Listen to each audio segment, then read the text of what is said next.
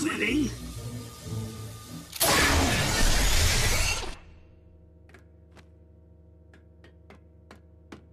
I'm going to call that a no.